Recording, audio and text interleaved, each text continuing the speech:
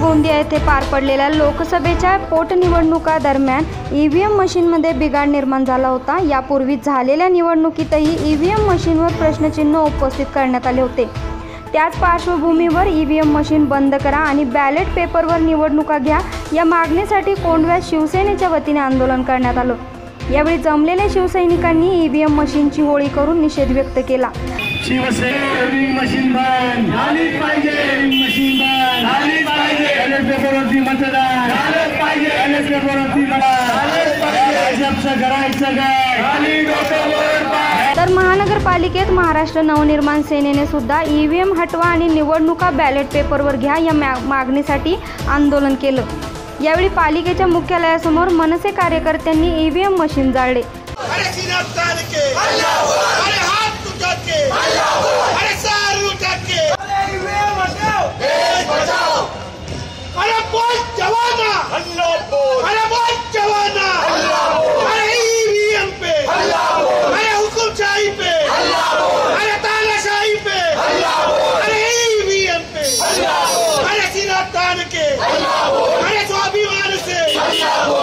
तसेच काही दिवसांपूर्वी राष्ट्रवादी आणि काँग्रेसने सुद्धा ई व्ही एम घोटाळ्यासंदर्भात आक्रमक भूमिका घेतली होती.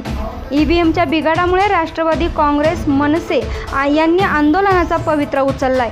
आणि निवडणुका या बॅलेट पेपरवरच व्हायला हव्यात अशी मागणी देखील या पक्षांकडून केली जाते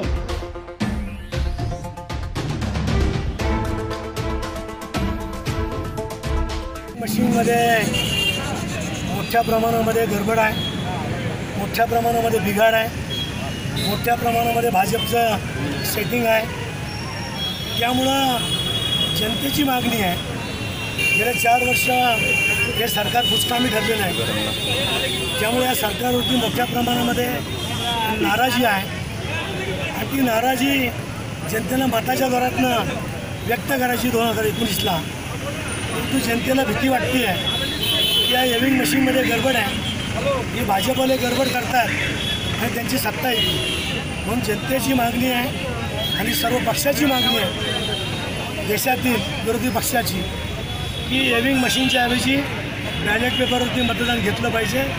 त्यासाठी आज आम्ही शिवसेनेच्या वतीनं एव्हिंग मशीनची होळीचा आज या ठिकाणी कार्यक्रम केलेला आहे.